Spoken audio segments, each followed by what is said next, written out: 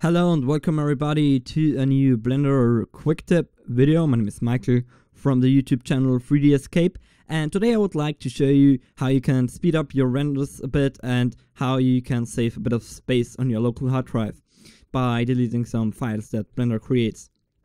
So here you see a pretty simple scene. Uh, if we have a look at the 3D viewport, you see it's a default cube well, maybe you don't see it, but it's just a default cube with a few um, modifiers applied to it, uh, displacement and subsurf, and just a really simple shader setup. You see a really quick render here, so you get a quick impression uh, what it should look like.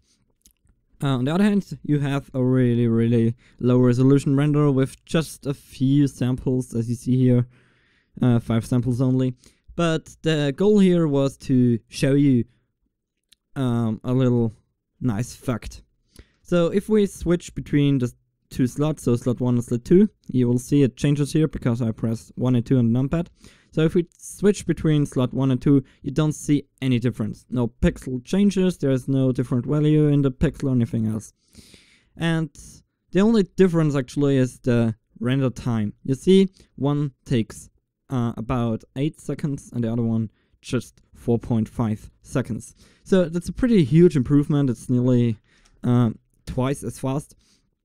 But um, the only thing I did is to check this little cache BVH function down here. Well, what does this function do? Uh, if you render an image, Blender has to build a BVH tree. Um, as far as I know it, it's basically the geometry in your scene, and it just um, gives that to the Cycles render engine. Or I'm not sure if Cycles actually directly does it for itself. So it just processes the geometry um, for rendering, and that's called building a BVH tree. But the thing is, if you re-render the exactly same image, so the, the, the geometry didn't change at all, or if you just cranked up the samples, or you just changed the shader, for example, I just want to have a pink shader here, then we could actually skip this building process of the BVH tree. Well, why? The geometry didn't change, and that's what the BVH tree is for. So let's say I change the, uh, or I have a shader, and I check this cache PVH function. I just press F12, and I see, yeah, I kind of like it, but maybe uh, I, it needs a bit more of a bluish tint. And now I just change the shader, press F12 again. Blender skips the BVH building process and just renders the image out with the new shader color. But uh, those cache files that Blender creates are quite massive. Of course, it depends on yeah how much geometry your scene is. And um, in this case, for example, one of those cache files had about 300 megabytes. So I just know that I want to um, delete those cache files now because I know I finished rendering the animation and I don't want to re-render it with a few more samples or with a bit more resolution. So I, I'm totally fine with deleting those cache files because I don't need them anymore. So now go to, or on the Windows, go to a file browser to your local hard drive.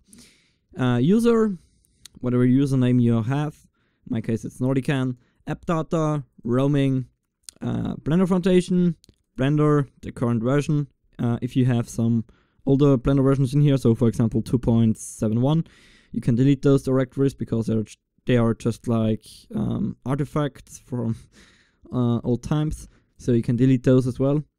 And then you go to the current Blender version, cache, and I see a bunch of cache files. Uh, you see uh, there are 82 elements in it. Uh, 80 elements are just for the rendering here, and then I have a few other ones from other scenes. So in total there are 82 cache elements. And you see each of those has a size of 300 megabytes and if we, if we have a look at the properties, you see in total they have a size of 23 gigabytes. And those are just from those 80 frames are rendered uh, here on this little animation where the object just moves. And um, again, here's the principle if nothing changes in the scene. So for example, if this would have no location keyframes, um, then actually Blender would only create one single uh, BVH cache file because nothing changes in the scene geometry wise. So for example, if we would have that cube, uh, let's move it here. If we would have that cube and that's the only object in the scene that doesn't change. Blender wouldn't create a cache file for each for each um, frame. So now I want to get rid of those files because I don't need them anymore. I don't want to re-render the animation or anything else, so I can delete those. And bam, I have 23 um, additional gigabytes on my local hard drive. Uh, maybe you have to clear the trash on your desktop now to really get rid of all files, but I think you should um, have quite a bit more space now yeah, that was basically it. I hope you liked this little quick tip here. And um, yeah, and if you have any questions, just write them down below in the comments. And if you like this video, I would really appreciate if you would support it with a little thumb up or if you would share it on your um, favorite social network. And if you want to support this YouTube channel for further video tutorials and quick tips, uh, please subscribe down below.